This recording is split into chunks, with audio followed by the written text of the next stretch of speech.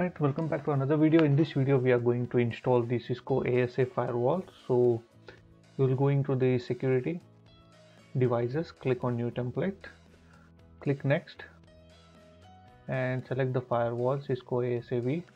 And before that, I will show you that I have already downloaded a file ASAV 981 9.8 version. So click on install, click next and click next.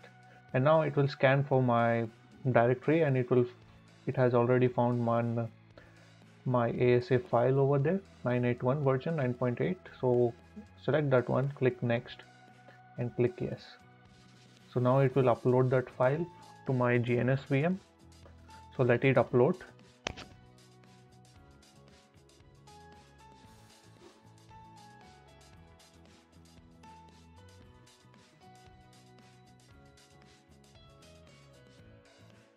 and click on finish. And click on now you can see that ASA 9.8 is been available for me. So just drag it to my topology now.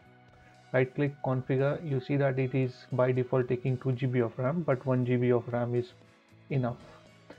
Just change the RAM 1 GB click OK. Right click start the device and right click take the console.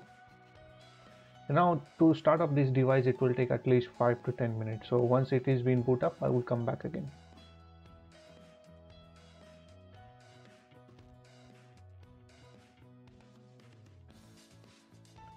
right so it took me around 8 minutes to boot up this device and you can see that and config t